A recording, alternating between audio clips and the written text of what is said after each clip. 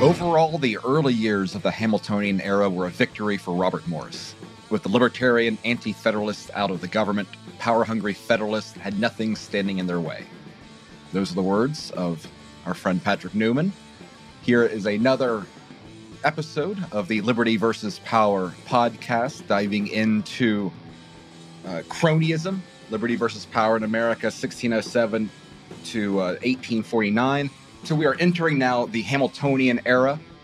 Uh, and, and really, even though this is the Washington administration, obviously the role of Hamilton, not only as the Secretary of the Treasury, uh, the leader of the Federalist Party, former chief of staff to General Washington during the Revolution, his outsized influence of these early years and intellectually defining this political moment, I think, is something it's, it's difficult to overstate.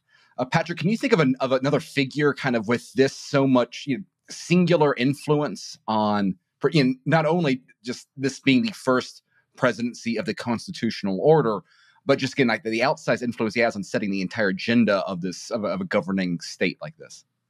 It's, very hard to find a, a, figure in American politics who who exerts that much influence, especially one that isn't a uh, isn't actually a uh, president. I mean, earlier in my book, I talk about how Congressman James Madison was sort of the first informal prime minister, and then uh, Alexander Hamilton really took up that mantle and, and really accentuated it. I mean, he truly dominated policy like none other. So it's it, it's a bit hard. You know, I, I you you could think of of of some subsequent presidents or or, if, or maybe some officials, but no, not really. It really was Ham- Hamilton.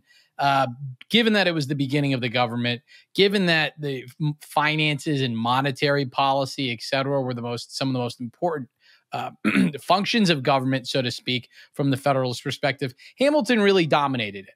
He was very smart. He was very energetic. He knew what he wanted to do. He knew what he wanted. So it's no surprise that he really, in many ways, it, he, controlled the, the, the, this decade, and that's why I call it the Hamiltonian era. I, I know myself when I first read the Ron Chernow uh, a biography of Hamilton that inspired the musical. I mean, that was the book that really got me interested in economics and really diving deeper because you know, there, there is a, an incredible story behind Hamilton, uh, uh, and, and, there was a genuine talent there and I think all that has played into the influence that he continues to have, uh, particularly now. I mean, you know, the the the immigration aspect is obviously been something that's been highly exploited by the Broadway aspect of it, but it's just interesting that you know even now he's a figure that continues to stand out. Um, but also, I think what's interesting though is, is him as an intellectual uh, influence on early America, kind of similar to some of the dynamics we're talking about, the, the, this tension between the old order of Europe and the new world.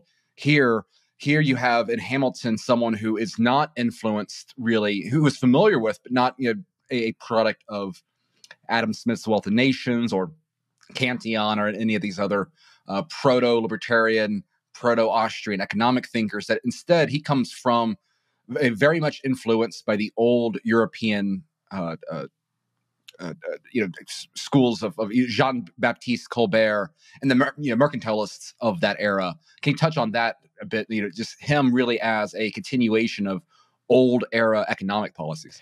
Yeah, so that's a that's a fascinating aspect of of Hamilton's thought and more broadly speaking just economic thought in general during this time. So just a little bit of a recap, I mentioned that during the we, discussed earlier the colonial era was dominated by the economic system known as mercantilism, which is when basically the government uh, favors select businesses and other groups in order to uh, achieve its various economic policies, uh, the, to, to, to increase the power of the government, to increase the wealth of the nation. Of course, always at the expense of other nations, right? So that's how the dominating, uh, dominant economic philosophy uh, argued uh, for economic prosperity. Basically, the government uh, will make one country the, the, prosperous at the expense of other countries. It's sort of a kill or be killed mentality. Okay, so then uh, beginning with the Enlightenment, you think of John Locke, and then sort of uh, moving further and further,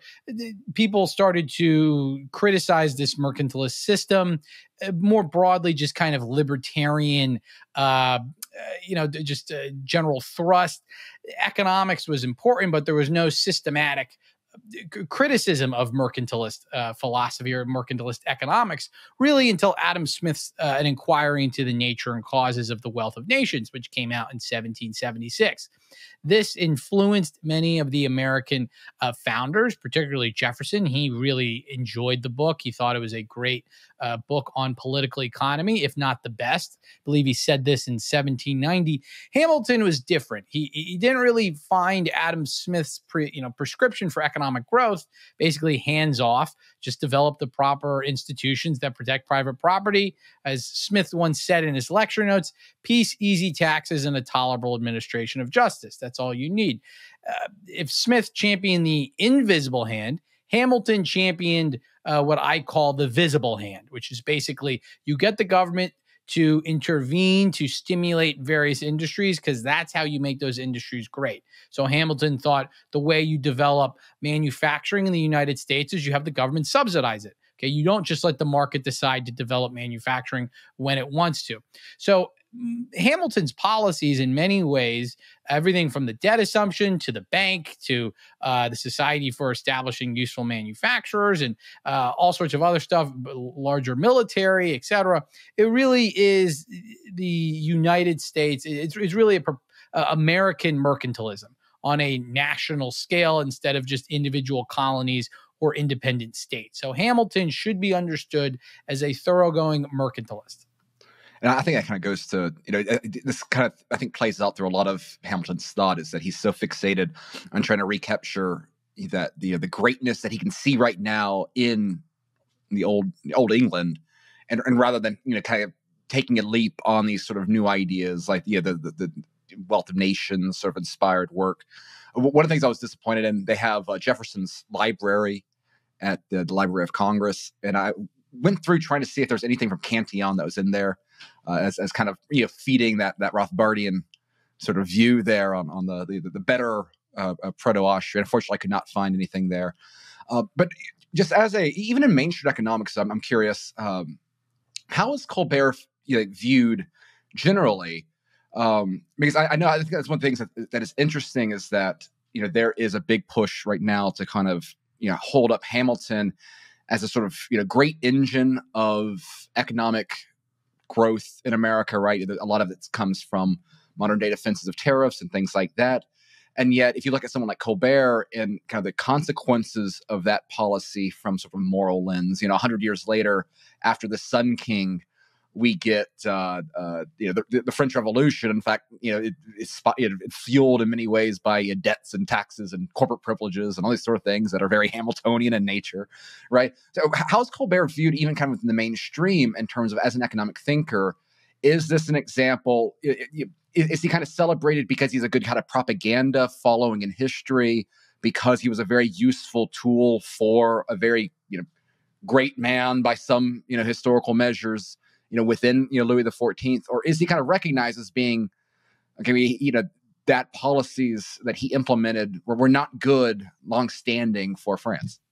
Well, so I think his his reputation is really uh, intertwined with the current reputation of mercantilism, right? Um, which in many ways is somewhat making a comeback. So the, the actual name mercantilism or mercantilism, however you you know you pronounce it, people go back and forth, etc., is sort of it, it, it's somewhat know, before you think of Rothbard and Mises how they how they refer to it it's oh the government is privileging select businesses at the expense of others to increase its own uh, power most mainstream economic historians or historians of economic thought are going to couch it in in in, in describe it in, in, in some other different language.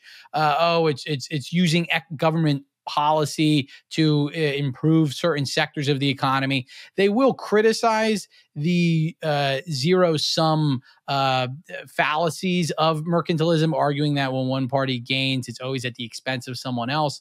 But they will actually say that, well, some of the policies, and you know, you could use tariffs to accomplish certain objectives or subsidies and et cetera. So those are actually pretty good. You know, of course, done within the framework of a democratic, um, you know, a government and making sure elites don't take control. And as long as we get the right experts in charge, you know, blah blah blah blah blah, we can really do all that.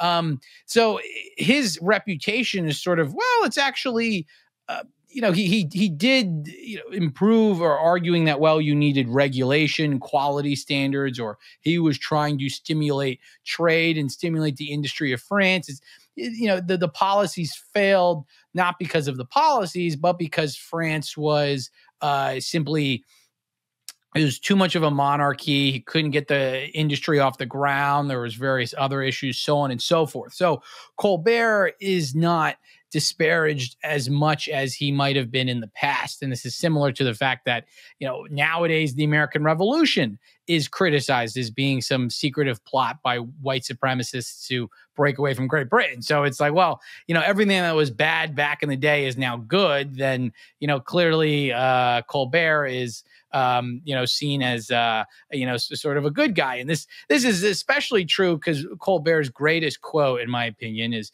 is is something along the lines of the art of taxation consists in so plucking the goose as to obtain the most amount of feathers with the least amount of hissing. And you think about it, and that's actually a brilliant quote because that really does describe tax policy. And I'm sure most politicians would agree with it because they say, yeah, our goal is to try and raise taxes as high as possible without getting the public, you know, go grab their pitchforks, right? So uh, his reputation, I think, is is uh, is protected. Uh, pun intended, uh, because of uh, this the general infatuation with government intervention and also instead of the free market of course, that sort of economic philosophy lends itself to the the uh, you know, social control being the highest art of statecraft. And I, I think uh, you know, if we look in today, communist China and a few other, you know, increased in the U.S. as well, the way that the, you know, the financial system can be penalized against political dissidents. Uh, I think there's a lot to be said. We, we are continuing on that legacy, but uh, go, going back to to Hamilton himself, though um, you know, kind of one of the kind of simplification of of the ideology driving the times is bind the rich, uh, bind the rich to the government by self interest, as well as at times uh, enriching those within his own orbit. Uh, uh, there's a very early corruption scandal with uh, with William Duer, um, but also just kind of this larger network that he has with you know being close with our good friend Robert Morris himself his father father-in-law Philip Schuyler, who is a very prominent uh, leader in, in New York. Uh, these are names that we're going to cont- kind of continue seeing pop up throughout this episode because it, it's interesting how so much of these policies that Hamilton pushes ends up uh, enriching those uh, immediately around him. Uh, the Duer might be the most vulgar example of those. Can you just touch a little bit about the, kind of the early corruption scandal of the Hamiltonian administration? Yeah, so the the early corruption scandals of this this may come as a shock to some of our viewers, but you know, whenever there's a huge increase in the power of government, some corruption scandals may inevitably follow right? Um, but the the big corruption scandal. So you think about Alexander Hamilton, so he becomes Secretary of the Treasury, uh, basically in for all intents and purposes, late 1789, early 1790. Uh, James Madison, as a congressman, has been busy trying to get sort of the basic nationalist infrastructure of the uh, new constitution off the ground, get the government up and running with funding and everything. And Hamilton uh, has all these plans. He has this plan for assuming the state debts and the old debts of the uh, Confederation Congress at par, right? Benefiting a bunch of speculators, uh, creating a new national bank, implementing uh, tariffs and, and bounties or subsidies, and so on. So initially, the, the big corrupt the big the big corruption uh, issue sort of centered around the fact that Hamilton had this new uh, report, so a report on uh, the public debt, and he said, "Look, we're going to assume the uh, all the old debts at par." So what that means is at par means at face value. So if the government promised to pay people a thousand dollars uh, in five years, then that's what they would do.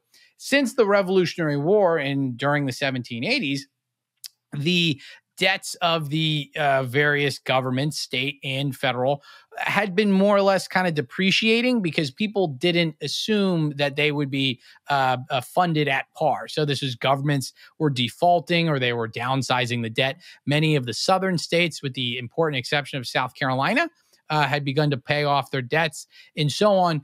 And the existing securities that were on the market were basically picked up by speculators right? So these are speculators who are assuming a very high default risk. This is no different than someone nowadays, they're buying uh, debt from um, uh, let's just say, you know, Puerto Rico or something, with the expectation that if Puerto Rico were to become a state in the union, then the federal government would basically bail out the speculators and it would pay it at par, right? So if you bought this debt, you could receive a very large windfall gain. Now, that gain is basically discounted due to the fact that there's a high default risk, but all of these speculators, such as Robert Morris, Philip Schuyler, William Duer, etc., they knew that either the government was going to basically um, fund the debt at part, or they were pushing for the government to actually do this. So this is a clear instance of cronyism because you are uh, you have these uh, government securities and you're pushing for the government to uh, raise taxes on the rest of the public so you yourself can benefit. And this is exactly what happened once Hamilton became Secretary of the Treasury. Once people knew he was working on a report, uh, when he started to initially announce the report, all of these speculators continued to gobble up this debt with the expectation that they knew the government was going to bail them out. Okay. And people associated with Hamilton uh, were not free from this. Although Hamilton himself, at least as far as our records uh, show, did not engage in uh, this type of cronyism to enrich himself. He knew Robert Morris had done this, and it would make him look really bad and sort of thwart his own, uh, you know, uh, plans. He basically allowed his um, his his fellow supporters, etc., to profit, which would of course help himself in promoting his own uh, aspirations in the government, his success as the Secretary of the Treasury, so on and so forth. And I think Duer, if I stand corrected, is, is was he was actually serving in the Treasury Department himself, right? Schuyler and others, like they're kind of outsiders, but like he was in the office. And so being able to purchase off of this, you know, inside, inside information, and he had this this interesting race of knowledge, right, within the, the confines of uh, you know 1790s America, right? It, it, word doesn't get out there as fast as it is on Twitter. Uh, just kind of an, an, interesting aspect of again, I, I think you called this uh, the second corrupt bargain uh, this this is dealing here. And, and I think one of the things that's interesting is you know this this brings back in Mr. James Madison to the stage. And, and what's interesting is that, that the split as, as you illustrated is is you know this is when it comes but it's not because madison has some sort of epiphany towards liberal thought per se uh, but instead recognizes that it's, it's, more of a sectional issue and he's defensive of virginia supremacy at you know at, at the expense of say New York interests, right? That's kind of what's guiding a lot of this pushback more than say you know this this outspring of, of old Republican virtue. Yeah, so James Madison, I've I've discussed this before. I'm not a fan not of James favorite. Madison. I he, he he does not fare well in my book. So for big James Madison fans, that's that's uh, I guess that that that's that's uh, the way the cookie crumbles. Uh, he he I the, I think the most accurate way of looking at him, interpreting his actions, is he was an opportunist. He was a nationalist the whole way, but he knew how to you know he knew how to talk the talk, so to speak. So uh, James Madison, and he actually even recommended Hamilton to be Secretary of the Treasury. Like he he was pro Hamilton.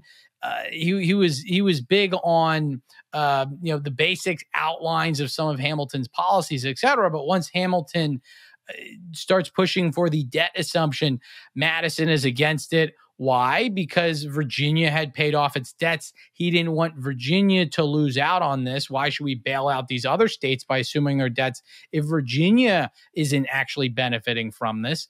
And uh, Madison had also alienated a lot of people in Virginia by um, you know pushing for the the weak Bill of Rights and various other measures in 1789, and and this was hurting him, and he barely uh, won. He was he was prevented from becoming a senator. He kind of won somewhat by the skin of his teeth to be a congressman, despite the um, the the efforts of Patrick Henry. So you know his reelection was coming up soon, so he, he had to take some sort of pro. He had to take some pro Virginia stances, and this is the beginning. This debt assumption issue is the beginning of this rift. This otherwise relatively amicable, agreeing on the broad uh, points uh, between Hamilton and Madison, right? So Madison kind of takes this 10 yeah, 10 plus year detour as sort of being a uh, proponent of limited government. He's always more interventionist than Tom Thomas Jefferson is, is and, and, and others, but this is kind of the beginning of Madison's sort of second phase. And it really comes down to the fact that Hamilton was looking to benefit the North and, ha- and Madison wanted to benefit uh, Virginia. Yes, the, the, the, Madison's first role might come back in later later chapters. We shall see. Um, but what, what's interesting now with, with this battle, though, is that you know even Jefferson really doesn't stand up to the plate the way you know you, have that this this ultimate. Uh, uh, I, I, think it's even to play uh, uh, demonstrated in, the, in the, the, Hamilton musical, right? You know this this this meeting behind the scenes where you know it's, it's Jefferson doing the hosting, and you know this is kind of where where you know raw politics in its truest form uh, creates the stage for you know, debt assumption. Um, yet here you, you, do have your your favorite Virginian, I believe, right? Patrick Henry does take the stand um, and, and, actually tries to nullify this in you know, I believe 1790s, uh, trying to, to, to use the state legislatures as a as a means to stopping uh, this this you know debt move. Mm-hmm. Yeah, so this is basically the, the the the the whole issue was Madison was pushing for a very complicated system of discrimination that realistically would have been very hard to actually implement uh, given you know technology and, and, and everything, where certain uh, holders of government securities would be uh, benefited more or less, depending on when they purchased the security. I mean, that information is very hard to get. Hamilton wanted, you know, you gotta you gotta assume everything at, to everyone at uh, at par. Of course, this is benefiting speculators, and he wanted to bind the rich to the government because the rich would be the most likely to keep funding the government. This wasn't going anywhere in Congress, so it seemed like all hope was lost. But lo and behold, Thomas Jefferson uh, arrives. He's the chosen Secretary of State. He's coming back from France. He was not around during the Constitutional Convention. Uh, very unfortunate, in my opinion. And Thomas Jefferson earlier on, he expressed support for downsizing the federal debt in terms of defaulting on it. Uh, various parts of the federal, uh, various parts of of, of the uh, of, of the uh, the government's various government's debts, and this could have been uh, you know potential way out jefferson he this could have been a great way if he really wanted to fight for that he could have uh, sided with anti-federalists who were very upset at that but that would have really thrown the entire new government into chaos and ended it then and there. Of course, I think that would be a great idea. Most historians are like, you know, they, they view this as an absolute calamity. Um, but again, that's that that's that's just that's my perspective, I guess. And so uh, Jefferson and, and what I call the second corrupt bargain, he basically he has Hamilton and Madison over for dinner. Uh, I sort of imagine it is is is like a a secret meeting. It's you know some drinks and all of that. They're discussing things like mob bosses, and basically what happens is uh, Jefferson and Madison they agree to. Uh, all right, they'll have the government, they'll assume all the debts at par. Virginia actually gets reimbursed a bit. So Virginia uh, ends up benefiting, which makes them happy. And Hamilton says, okay, I've got that along, you know, tying in with another controversy at the time, he says, "All right, I'll we'll have the capital. It will only be in Philadelphia temporarily, which the capital was currently in Philadelphia." He says, "All right, we'll allow George Washington through what's known as the Residence Act to place it along some predetermined boundaries along the Potomac River." right? So this area near Maryland and in, in, Virginia, and so they shake hands, and so the, uh, the, the the credit of the government is restored. Uh, at least there's a huge benefit to various speculators, which you can go into. Really, uh, a, a, very regressive system made a lot of people very wealthy, and seems like business as usual.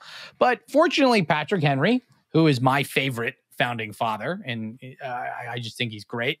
He's very against this. He's sort of brooding in Virginia. He's very upset because the Constitution got ratified. He said all these problems were going to happen, and guess what? These problems are starting to happen. So he's he's he's, he's I, I describe him as apoplectic. I think you know he's just he's irate. He's furious at this. He's like, why didn't why didn't you listen to me?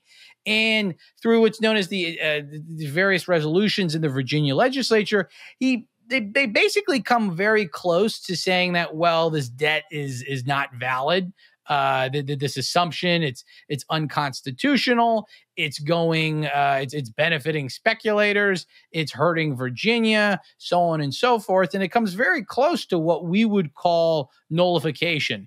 But that really the, the, the doesn't go all the way. Uh, the, the hardcore elements of that get struck out in the actual uh, resolutions of Virginia. And what really kind of happens is there's just more of um, uh, a, you know a, a, dust up or a ruffling of the feathers, so to speak. But it was important enough because it shows Henry was going to fight this corruption of power that's it's seemingly taking control of Jefferson, someone who he had uh, not liked for a long time, and it seemed like, in his opinion, now for good reason. And um, that former anti federalists were starting to strategically interpret the Constitution to make it a limited government document. But the whole debt co- uh, controversy is very important. It really is uh, the, the, one of the first acts of the government, of course, is one of its major instances of cronyism I, as, as you say in, in the book, uh, it becomes clear that uh, Hamilton's funding program was a massive redistribution racket that siphoned taxpayer money to the rich, or more specifically, the gains flowed to the old rich. And, and even note uh, the, the, the fortunes of these families, you know, like Morris, like Duer, like Schuyler, and the like. Uh, they exploded to $60 million. And we're talking this massive redistribution of wealth that, that's measurable here. Um, and I, I think this the scale of that is, is, so easy to to overlook. I mean, even Washington benefited from it. Um, you, you, mentioned briefly that uh, uh, Jefferson and Henry didn't you know, get along. I, since that's something that kind of has you know, further ramifications, do we know kind of what the cause of that split is there, even amongst you know otherwise ideological allies? Yeah, so um, this happened in the in the Revolutionary War. I sort of allude to it in my book. This is something maybe could have, you know, if I had more space, I would have spent a little bit more time on. Basically, in large part, it had to deal with um, their view of executive power right? So in terms of either the the the, the basically the, the, the governor of Virginia, so when the uh, Virginia Constitution was being devised after the Declaration of Independence or, or around it, uh, when various you know we knew we were going to secede, etc. Various uh, colonies or what became states were devising whole new systems of government right? Uh, we're going to now be a democratically elected government, blah, blah, blah, blah, blah, blah, blah. And um, Henry was basically in favor of a more vigorous executive, uh, Jefferson uh, less.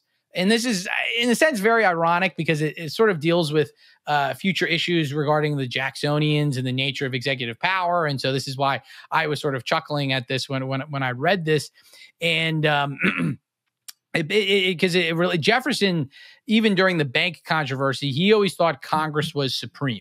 Okay. And this is why he said to Washington that, well, at the same time, uh, you know, if Congress passed it, then, you know, you just got to go with that.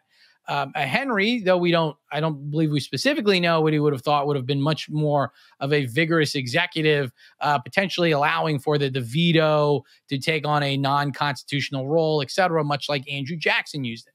That was really the the at root of the disagreement. And then there were some controversies over war policies while they were governors, et cetera.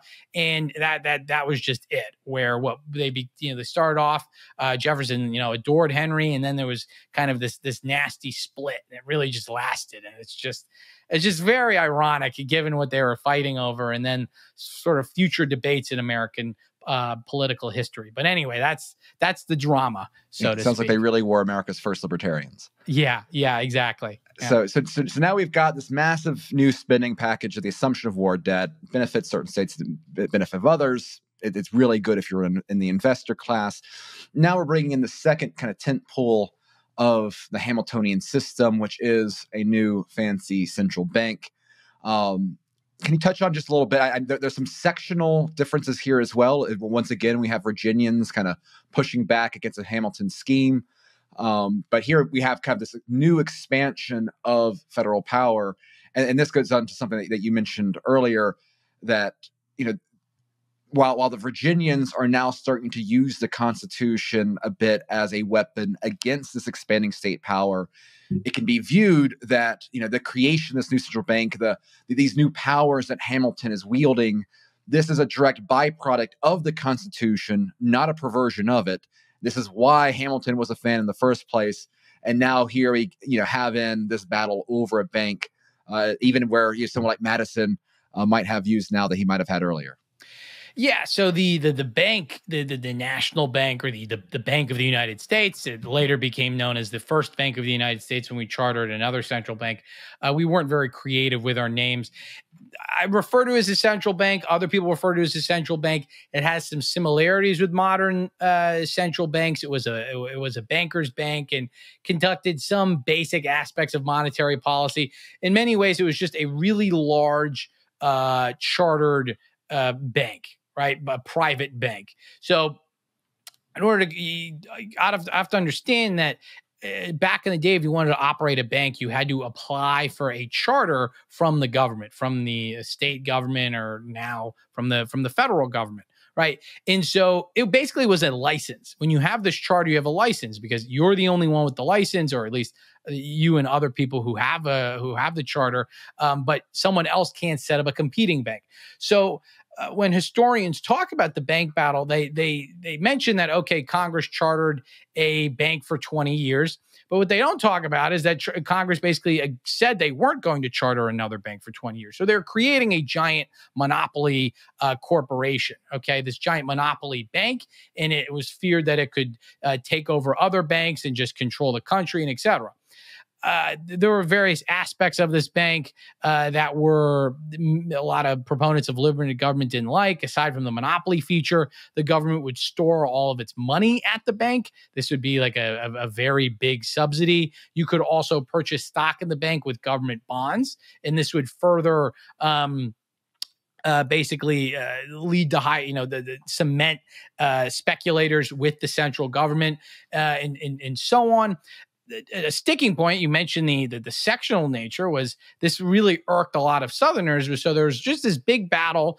where the north agreed that say okay the capital is only going to be in philadelphia for another 10 years and then we're going to move the capital to this new quote unquote federal city soon to be known as uh, Washington, D.C.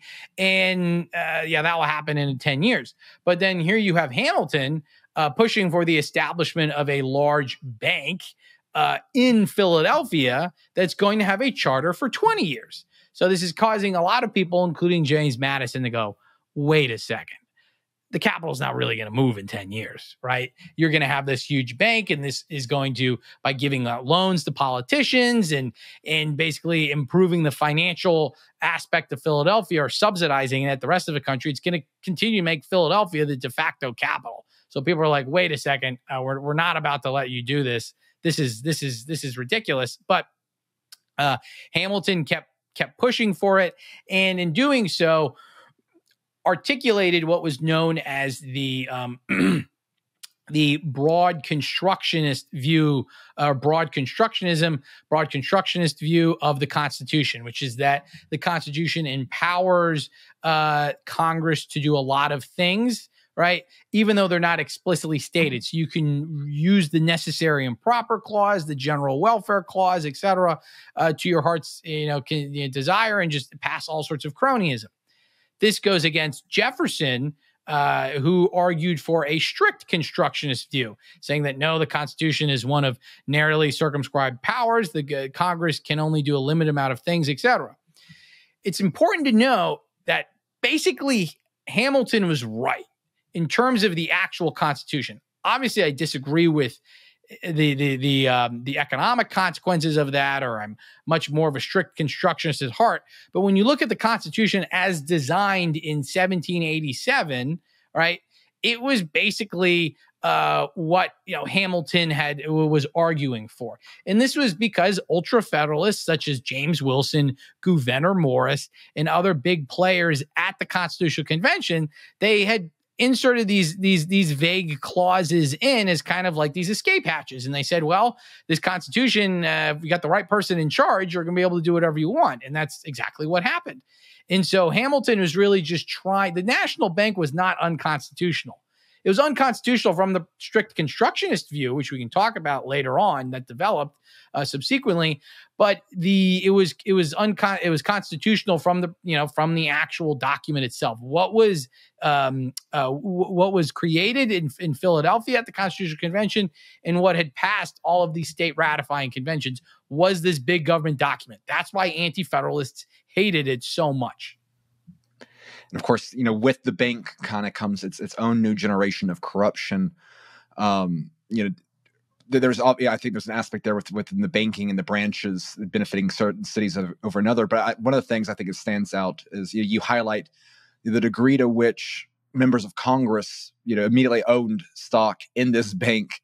You know, those voting in favor of it, um, and of course, perhaps the, the the largest piece of corruption of them all, in order to kind of to break this this tie between Jefferson and Madison and the Virginians opposing the ratification of this bank and the Hamiltonian side in order to get Washington across the line. Uh, that there is one last land deal done within the formation of this new capital.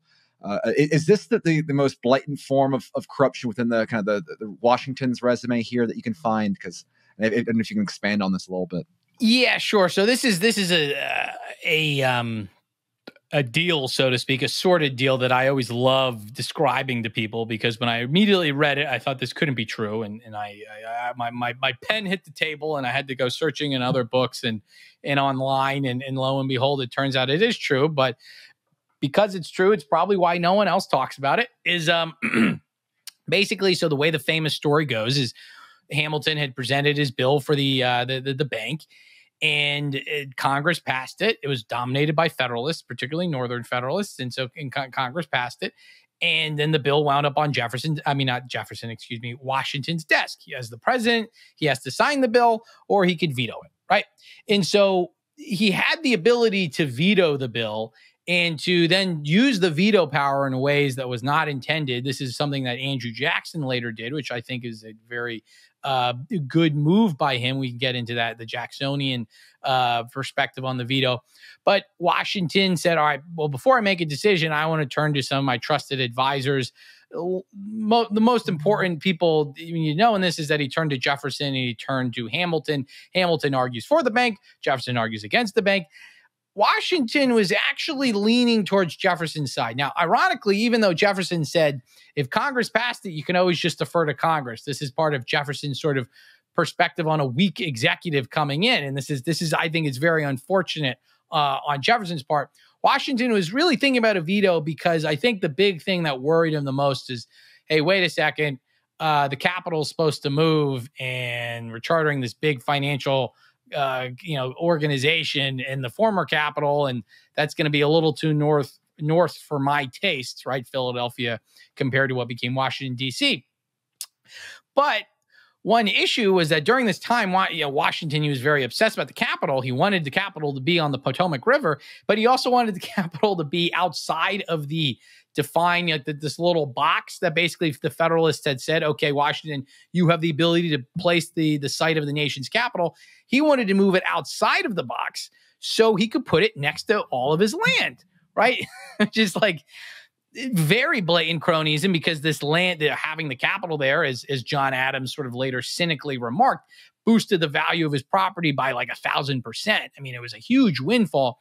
So Washington agreed. He said, "Look, I'll, uh, I will not veto the bank. I will sign the bank bill if you basically, if, if you talking to Congress amends what was known as the Residence Act to allow me to put the capital closer to my land." Okay, because Washington was already having his some of his goons uh, go out and survey the land and all sorts of stuff. And I, I, also just love the historical record pointing this out because apparently, like, none of them were experienced in survey, you know, surveying or any sort of land. It was just like one of them was Washington's doctor and, and other stuff. And he's like, he's getting his chums to do his work. And he's like, yeah, this is gonna be the site of the Capitol, right, right next to all my property.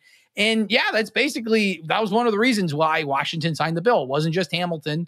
Uh, it was Washington wanted to amend the Residence Act, and the Federalists were not going to let him do that, come hell or high water, uh, unless he signed uh, the bank bill. So at the end of the day, Washington was able to kind of get a little sweetener for uh, the retirement account, so to speak, though that didn't really turn out to be so. You know, uh, he he he did he, he died uh, you know, before the capital was was was more or less finished. But uh, it, it helped him a lot. And we got this terrible bank that did the, all sorts of problems regarding monetary policy, uh, future government intervention, and so on. It's a fascinating story, and I really think it's one of the most, uh, it's one of the great illustrations of cronyism in my book. I'd say. So then there's other aspects of the Hamiltonian platform that kind of end up you know, fueling a lot of the problems that we see. There's he's directly pushing for uh, subsidizing manufacturing. Uh, particularly, I believe in New Jersey, there was a big push for all these different privileges granted to, you know, his sort of projects, all involving the same sort of group of Schuyler and Duer and these these these sorts of people. Um, what what also kind of happens though is, is, and you touch on the importance of uh, subsidizing internal land improvements as being one of, and again, another one of these fountains of cronyism. Um, and, and, there's a very major scandal uh, that, the, Yazoo land scandal that involves that ends up bringing you know has a, a Supreme Court justice uh, outright defending his own financial interests. Um, can can we touch about this about another again one of these we're, we're seeing this Hamiltonian platform just kind of create all of these these boils of corruption that are seem to be infecting like every every single governing institution in this early republic. Yeah. So the most people they know they they, they go through the you know you go through Hamilton on the report on manufacturers, and this is when we get kind of some of those Colbert uh, you know, Colbert uh, mercantilism, you know, th- those types of arguments, because Hamilton's saying he doesn't come out to be this ardent protectionist. He does want to have higher tariffs, but that's mainly to fund the debt.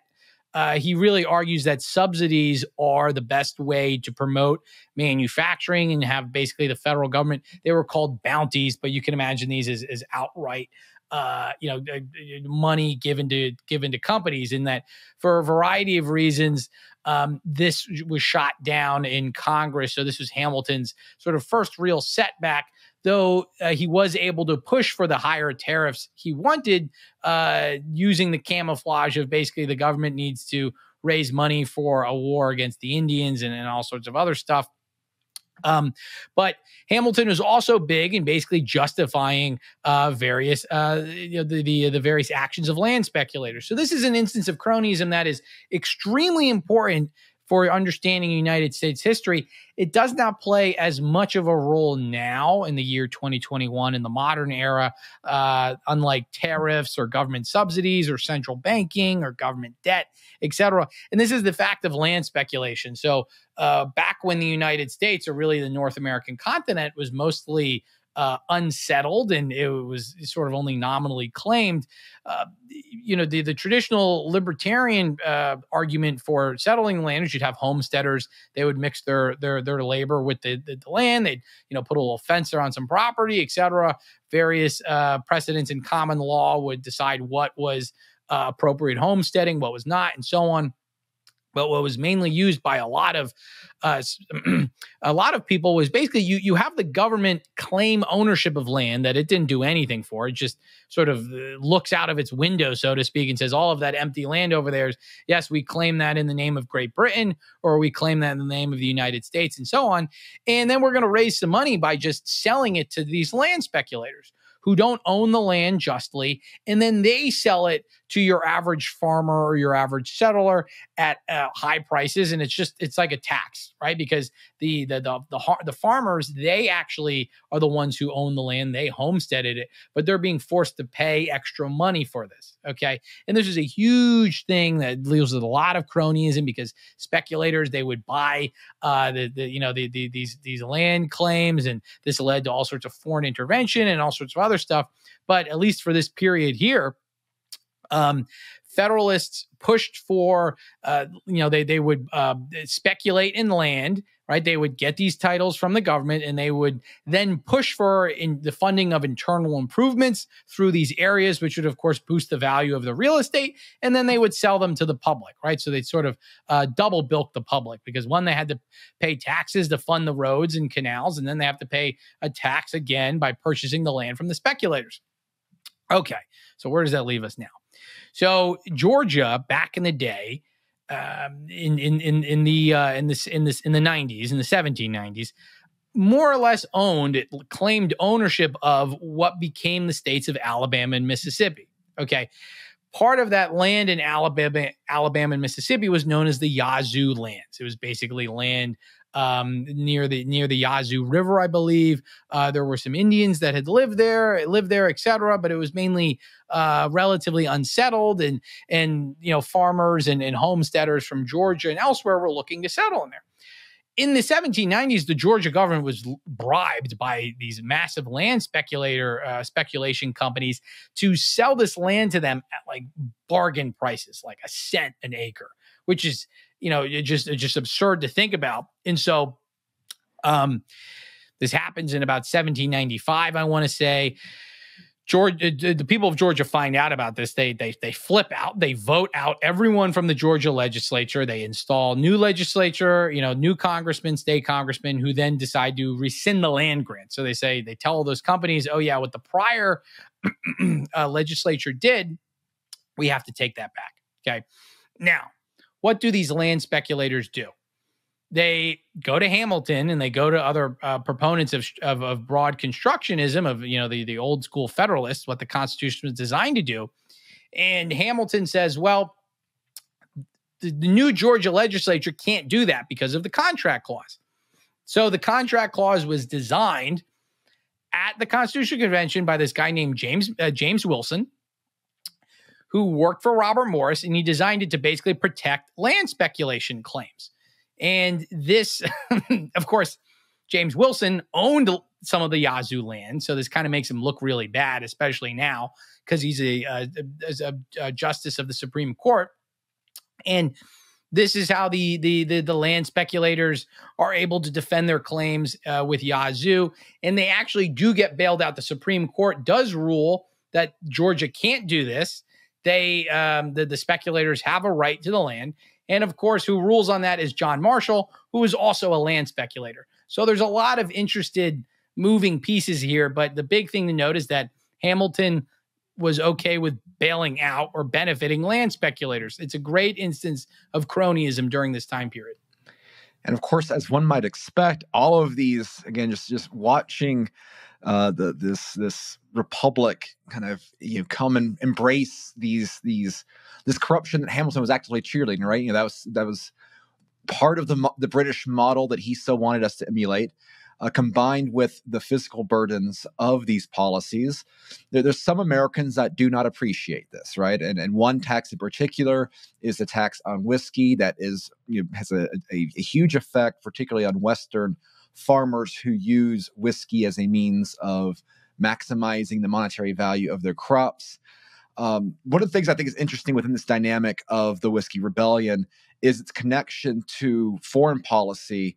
Uh, because I, one of the slurs that the Federalists start using against those defending the interests of these Pennsylvania farmers is trying to connect them right to the, the French revolutionaries uh, that, that, are cutting off heads. I, I, think at the same time, or, or very close to it, we have a, a, foreign policy episode going on with Citizen Genet, who uh, uh, you know is, is, is very acting very uh, arrogantly revolutionary France uh, around and offending some people, and so you have this dynamic where you have agitation against the corruption of this this Hamiltonian regime, leading to you know, a, a whiskey rebellion and and this sort of effort to tie this directly to again foreign policy concerns which you know I think you know help kind of fuel and set the stage for the Alien Sedition Acts and, and that sort of stuff that we'll get we'll touch on here in a moment.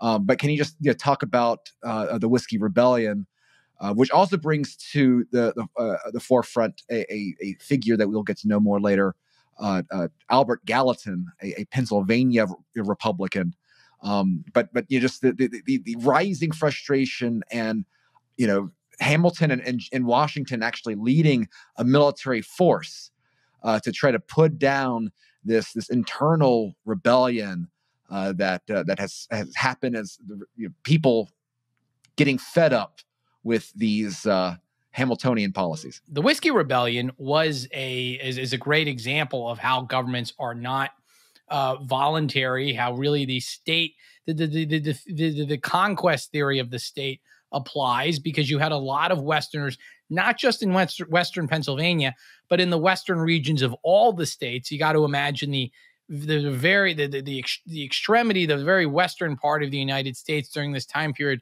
was the Mississippi River. They were very upset at the federal government's sort of uh, supposed lack of care of them. They were upset at the Bank of the United States. They were upset at the assumption of these federal and state debts at par. And they were especially upset at the uh, federal government's um, uh, whiskey tax, or a, a re- which was a regressive tax. It fell mainly on poor Westerners to fund some of these uh, the, the assumptions of state debts. Now, Hamilton had said in the Federalist Papers that these what were known as internal taxes, so you can imagine uh, not tariffs, uh, the taxes that aren't tariffs on foreign goods, they wouldn't really be used that much. They would be confined, I think, in his words, to a narrow uh, compass, sort of a narrow boundaries. Of course, that was before the Constitution had to be ratified. So now uh, he's going to uh, decided to to push for higher taxes, um, you know, push for new taxes on whiskey, etc. Westerners were very upset about that. There was a lot of disobedience. Uh, you know, the, some the people gathering, some rumblings in, in, in, in near Pittsburgh, or which is back back in the day, you know, very small town, etc. So Hamilton is urging Washington to sort of suppress the rebellion. So they basically drag about the 13,000 militiamen and then some others uh, to Western Pennsylvania to, to make a dem- show demonstration of the government's uh, power. And one of the reasons they did this, I, I, didn't explicitly mention this, but you you you you alluded to this, was that during this time, um, the we, we were trying to set our foreign relations with other governments. So there was the the famous Jay's Treaty that was being in the in the process of being negotiated this time, and Hamilton really wanted to sort of flex the muscles of the United States to show that hey. Uh, we're, we're we're we're tough just like you guys because we can bully around our citizens, so, so to speak. I, you know, it, it doesn't really help his case, but I think it sort of eh, illuminates some of his motivations. Um, the, the, the rebels disperse Hamilton uh, was basically in charge of the soldiers for a long period of time after Washington left. Hamilton wanted to, uh, Hamilton and his forces, they wanted to round up some of these uh, suspects or accused agitators. One of them was Albert Gallatin, a former anti federalist. Hamilton and some others, they wanted him and his supporters to be really tried. And then uh, back then, this, this disloyalty to the government uh, could be met with by execution, by death uh, not, not, th- those don't happen, but Gallatin gets the picture and he gets kind of scared. But it, it, it's it's a great example of how the the government, you know, it's a great instance of cronyism. The government first assumes state debts, right, which benefits a lot of speculators, and they pay off these state debts by raising taxes on poor people, right? And these poor people resist. The government sends in the gendarmes to uh, st- to stamp them out, right? The, the, the military, and it shows that Hamilton really had, in my in my my view, he had bigger ideas than just being a Secretary of the Treasury. Well, and I think this is kind of going to be where, where we leave it on this one. Um, but but I think this connection continues on, and really, you know, if, if we think about the Adams administration, for example, you know, perhaps the great accomplishment was him keeping America out of a war, um, and he did so against sort of the the agitations of people like Hamilton who were trying to use the inspector general position that he got at the behest of Washington uh, to try to put America and pit them against France on the side of, of England. But it, but it seems that this is kind of what Hamilton, you know, Hamiltonian, you know, Hamiltonism, uh, uh, you know, devolves into, right? You know, the, the Hamiltonian regime becomes a, a means of using force against anyone who stands in its way to, to get its ends because the underlying uh, uh, you know system here uh, uh, doesn't work very well. And and again, you know, taking that position, I, I know you you you touch on the book, the aspirations that uh, Hamilton and his allies had for expansion, and you know, eyes on the treasuries of of uh, you know Mexico and Peru and South America, right? You know, when, when you're talking about an empire of power being the aspirations of this side of the founding generation. You know, this is quite literal.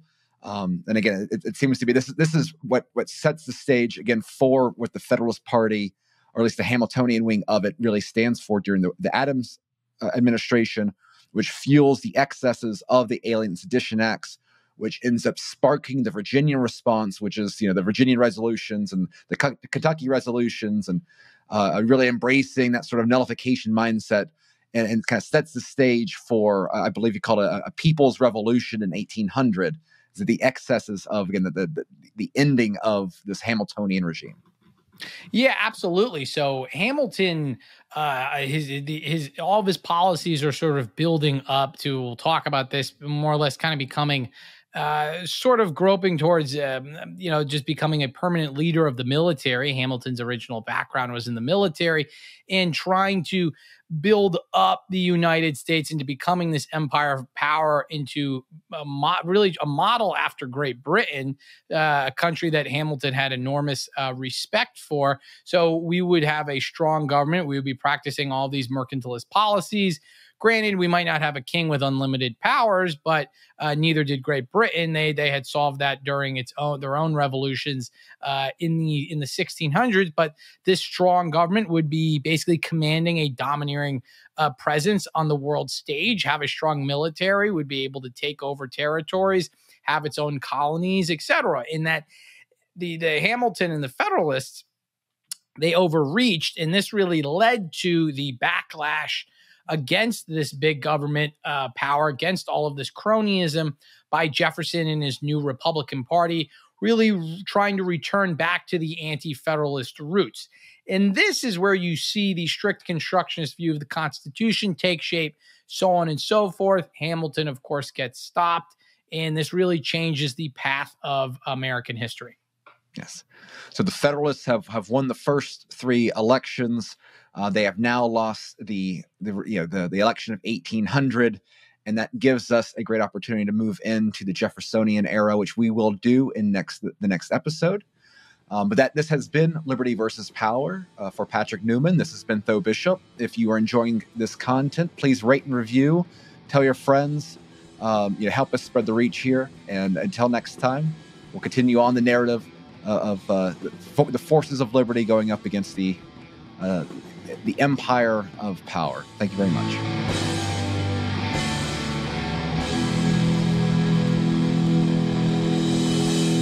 Oh, jeez. Oh, oh. Uh, Tommy, Tommy, what are you, what are you saying?